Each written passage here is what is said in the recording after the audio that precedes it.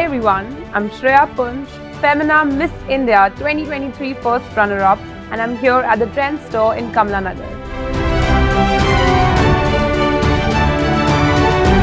Well, it is a beautiful feeling. I still remember my audition day very vividly and to be able to come back with the crown surely is a magical feeling. I believe the entire collection was absolutely stunning.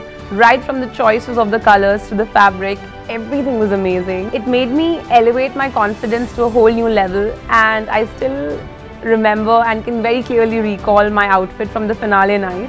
So it was a wonderful experience. I think Trends has played a very instrumental role in not just mine but the Miss India journey of all 30 state winners I still remember my first time in the store and I was auditioning for my stage. Later on, we also had our sub-contest, uh, which was the Fashion Icon sub-contest.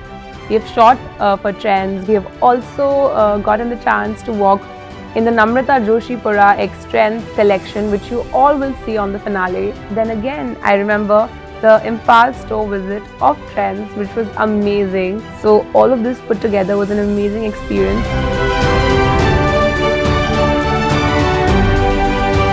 I believe the first uh, most ecstatic moment of my journey was when I was and then obviously the finale night where I got this crown.